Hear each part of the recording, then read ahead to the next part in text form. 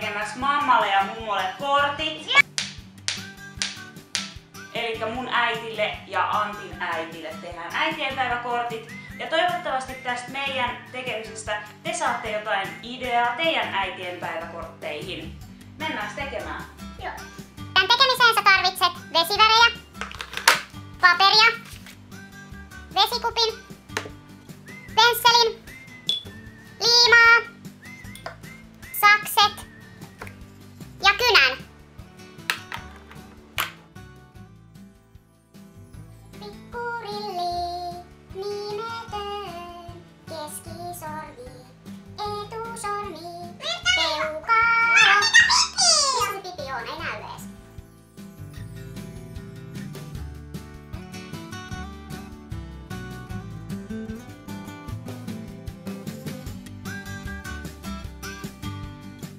on hieno. Sittenhän se vihreä.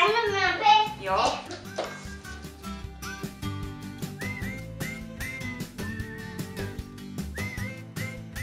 Mummot tykkää kukista.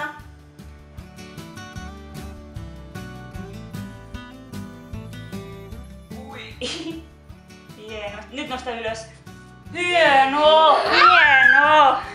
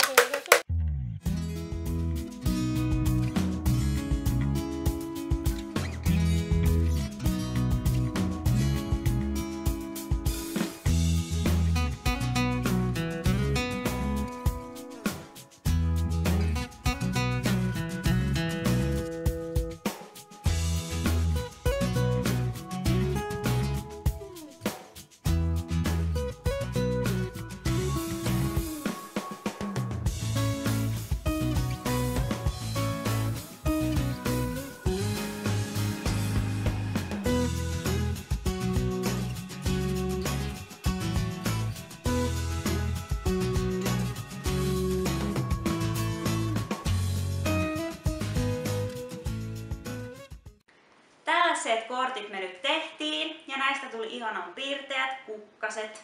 Ja tää on niinku ruukku tässä, missä tää kukka kasvaa. Ja tossa on varsi ja kukka. Ehkä tähän vielä kirjoitetaan teelukas. Tämmönen lapsen tekemä kortti on paljon arvokkaampi oikeasti kuin joku vaikka 100 euron kaulakoru. Tämmöistä mummot arvostaa enemmän. Ajatus on tärkein, ei lahjan arvo mun mielestä.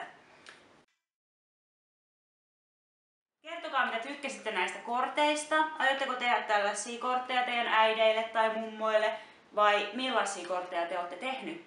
Kertokaa alas kommentteihin. Ja tässä oli tällainen askarteluvideo. Mä teen varmaan taas pian uuden videon. Joten ei mun muuta. Moi moi ja hyvää äitienpäivää kaikille. Tää on muuten mun neljäs äitienpäivä jo, mikä tulee nyt. Mut ei mun muuta. Moi moi!